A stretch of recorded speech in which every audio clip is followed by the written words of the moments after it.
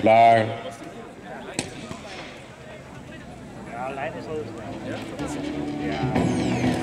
De wielers, alles, de kracht moet uit de armen komen en die buikspieren. Dames en heren, het is opnieuw Kenny van Wegel. Officieuze tijd 14.21. Als tweede komt hier over de finish Stefan Rush.